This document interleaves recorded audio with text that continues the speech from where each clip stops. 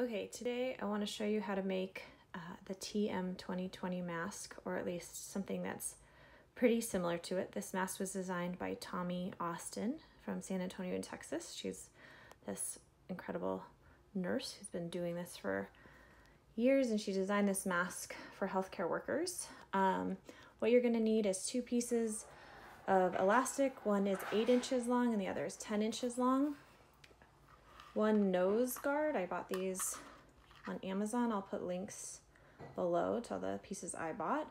You could use any other piece of wire for this, but I'm liking those. And then you're gonna need three pieces of fabric, an inside piece that no one's really gonna see, the filter piece, and then the outer fabric of the mask. The filter is made by this, made by Filti, which is um, a company that makes HVAC filters. Um, you're gonna see that the Filti has a soft side and like a smoother side. The soft side is the side that's gonna be up against the fabric that you want on the outside. So smooth toward your face, soft away from your face. First step you're gonna do is align all the fabrics with the, again, the fuzzy side facing the fabric you want on the outside of your mask. The size of this fabric is going to depend on who you're making the mask for. All of the adult masks are 12 inches this way. This measurement is the measurement from your ear here on your cheek, kind of where the, your jaw pops when you move it, across your nose to the other side. On me, it's about nine and a half inches. Um, there's a range. Some of the men that I've been making them for are close to 12.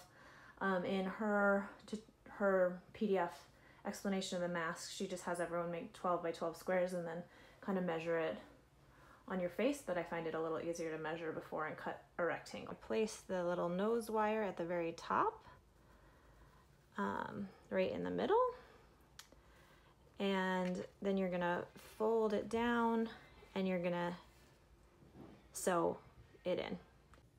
So you can see that I hemmed the top here, just a really simple straight stitch, and then the you can see that the metal is on the inside right at the middle because it folds up nicely. That's one way I like to check if I got it in the middle. Um, and then you're gonna do it the same the same thing on the other end, but there will be no metal, metal in it because it's on the bottom of the mask.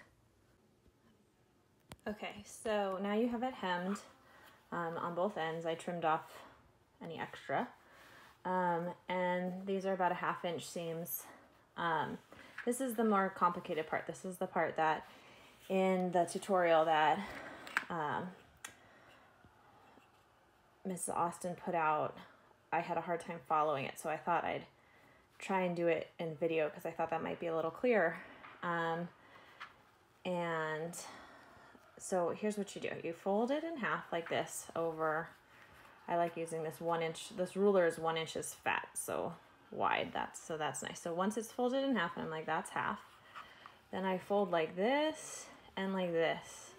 So it's an accordion fold, like that. Then, then I, so there's that accordion fold. I moved the, the ruler from there up so that it just lays next to it that way. And I'm gonna do it with the other side of the fabric like this.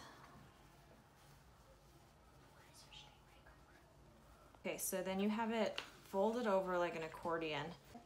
Okay, so you have it folded, you took you take the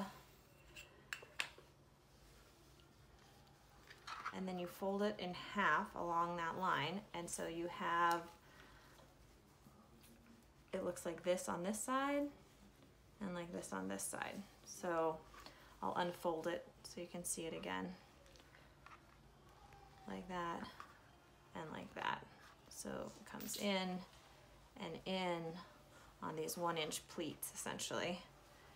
And then you fold it up so that it matches at the top. Then you're going to figure out sort of the center of your mask. From here, it's just going to be a diagonal stitch from the inside to the outside of the mask on both sides.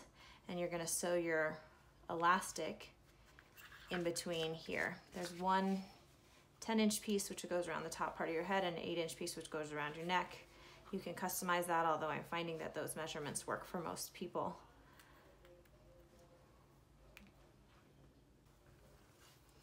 So um, I usually, it's usually this is about, I would say like six inches.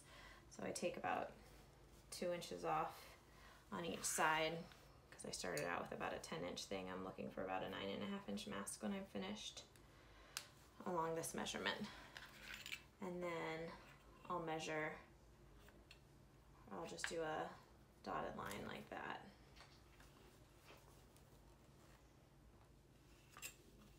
That I'll sew along. Can see I sewed along those diagonals that I wrote or that I drew earlier. And um, just a tip, it's easier to sew from here to there so you don't get your foot caught up on the pleats. And make sure you go back and forth back stitch a few times to hold the elastic in place. And you can see that that eight inch elastic is a little bit tight across here. Um, and then the 10 inch one is looser. And then I'm just gonna cut along these sides. So there you go, and you just trim off this extra on each side. And then you can choose to finish this seam. You don't really have to, um, but you can choose to finish this seam with a little bias tape. I'm not, I'm not a very good seamstress. I'm just doing my best here. So this isn't great, but I'm sure some of you out there could do way better things. And then I'll show you how it looks on. On and it feels really weird. But then you put the higher strap up and you bring this onto your nose. You pinch your nose piece really good. You bring this down and you can pop this out a little bit because it's got these nice pleats. So then this one's a little small for me because it's for a friend who's a little smaller. I'll disinfect it before I give it to her, so don't worry. Um, and yeah, there is your mask. And you can see it's a really nice fit. My sister, who is an ICU nurse, wears one.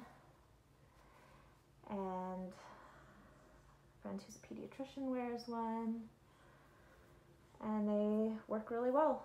Um, the Filti fabric has, uh, I'll send a, I'll put a link so you can check it out, but it has a filtration rating of 95% for the smallest particles. So they should work, um, at least for filtration, similar to an N95. Um, and Miss Austin did testing I hope that what I just demonstrated is similar to her intended design. If it's not and you know that or you are Nurse Austin, feel free to reach out or comment and I'll fix it.